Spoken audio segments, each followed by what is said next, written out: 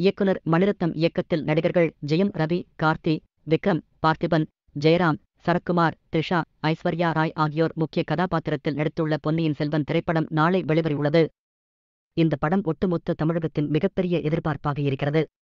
இந்நிலையில் தற்போது இந்த படத்தில் ஐஸ்வர்யா ராய் ஏற்று நடித்துள்ள நந்தினி கதாபாத்திரம் குறித்து நடிகை மீனா அவர்கள் தனது இன்ஸ்டாகிராம் பக்கத்தில் பரபரப்பான பதிவு ஒன்றை பதிவிட்டுள்ளார்.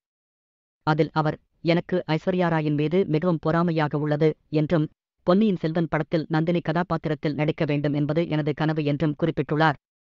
மேலும் பொன்னியின் செல்வன் படம் வெற்றி பெற படக்குழு அனைவருக்கும் வாழ்த்து தெரிவித்துக் கொள்வதாகவும் அவர் குறிப்பிட்டுள்ளார்.